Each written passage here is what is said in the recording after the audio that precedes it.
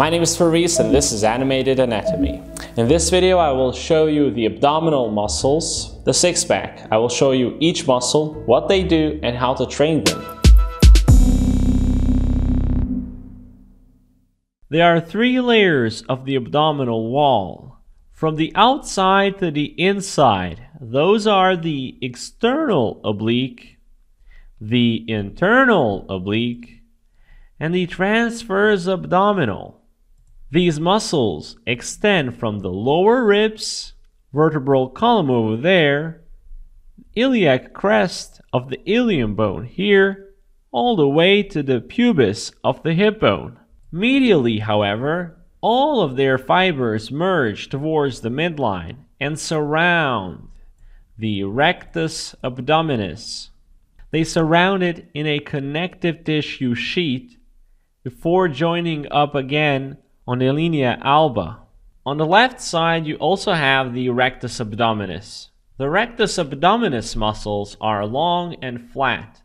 The muscle is crossed by three fibrous bands here, here, and here, called the tendinous intersections.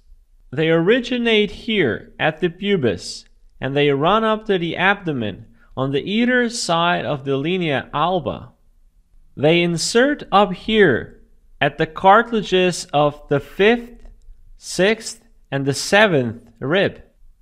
The last muscle I will mention today is the muscle that can be found here, and that is the pyramidalis muscle. Now, if you're a medical student, I know you're interested in details and you want to know about everything because small things can be really important in medicine. If you're a bodybuilder, you might say, well, it's such a small muscle, why do I have to know anything about it?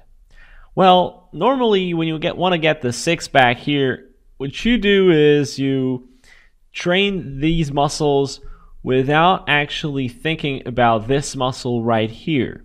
But the function of this muscle is to tense the linea alba right here.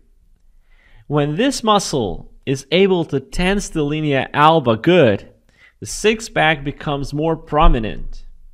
The linea alba is the fibrosis structure that runs down the midline of the abdomen in humans, all the way down. And you can see that this muscle attaches right there. However, this area has a lot of variations in different individuals, and some people don't even have this muscle. So that was it. Now you know everything about the abdominal muscles. So that was it. Now you know everything about the abdominal muscles and the six-pack. If you want to watch my next video about the brain ventricles, you can click here. You can also watch my previous video here. If you like my lessons and want to purchase my software, you can go to my website animatedanatomy.com. If you don't want to purchase it, then at least you can subscribe here for new free content that I release regularly on my channel. Thank you.